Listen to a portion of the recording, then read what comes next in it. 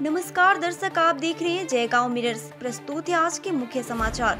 Rapid headlines news फिर plastic मुक्त शहर बनाने के अभियान में जुटे। अलीपुर द्वार महकुमा शासक मालूम हो कि काफ़ी समय से अलीपुर द्वार के महकुमा शासक ने प्लास्टिक मुक्त समाज बनाने की दिशा में कदम बढ़ाया है।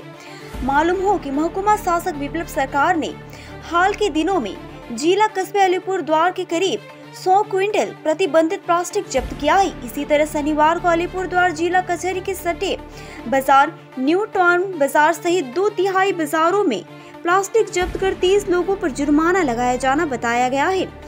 आज की कार्रवाई के साथ महकुमा शासक विप्लव सरकार ने आज कई बाजारों में अभियान चलाया। हमने देखा कि खुदरा विक्रेता ग्राहकों को प्रतिबंधित प्लास्टिक का सामान दे रहे हैं। उन्हें चेतावनी दी गई कि और जुर्माना लगाया गया है। पर्यावरण को प्रदूषण मुक्त और स्वच्छ रखने के लिए वन विभाग की ओर से लाइफ स्टाइल ऑफ़ इन्वायरमेंट कार्यक्रम आयोजित किया गया है। इस कार्यक्रम के तहत आज बक्सा टाइगर प्रोजेक्ट के तहत गुडम डाबरी झुग्गी क्षेत्र के वनवासी जागरूक हैं और समझ रहे कि पर्यावरण को स्वच्छ और प्रदूषण मुक्त कैसे रखा जाए। उन्होंने कहा कि यदि किसी को क्षेत्र में वृक्षारोपण के लिए वृक्षारोपण की आवश्यकता है तो कुछ वृक्ष वन विभाग द्वारा उपलब्ध कराए जाएँगे।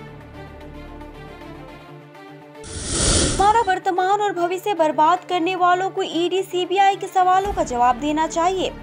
सीबीआई अच्छे काम के लिए नहीं बुलाती। उसने चोरी और भ्रष्टाचार पाया होगा, इसलिए बुलाया गया।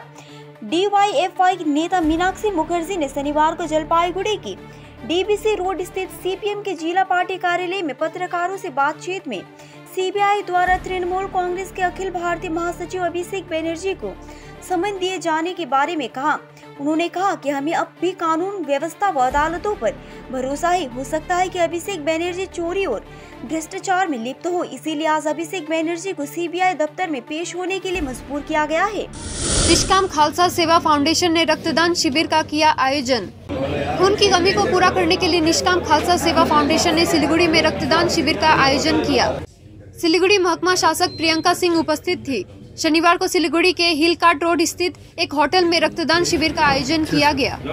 शिविर में काफ़ी संख्या में लोग रक्तदान के लिए आगे आए। पता चला कि शिविर Siliguri Terai lines blood bank के सहयोग से आयोजित किया गया था। शिविर से एकत्र रक्त को Siliguri Terai lines blood bank भेजा गया। शिविर में भाग लेकर इस पहल की महकमा शासक ने सराहना की। Kalchini union academy high school में अलीपुरद्वार जिला प्रशासन और महावीर विकलांग सहायता समिति ने कल कृत्रिम अंग प्रत्यारोपण शिविर शुरू किया और ये शिविर दो दिनों तक चलेगा। शिविर में कल से आज के बीच विशेष आवश्यकता वाले डेढ़ हज़ार से अधिक लोगों का प्रत्यारोपण किया गया। इसके अलावा विशेष आवश्यकता वाले कई लोगों को व्हील प्रदान की गई है। इस दिन शिविर में कालचिनी वीडियो प्रशांत बर्मन प्रखंड स्वास्थ्य अधिकारी डॉक्टर सुभाष कुमार कर्मकार मौजूद रहे।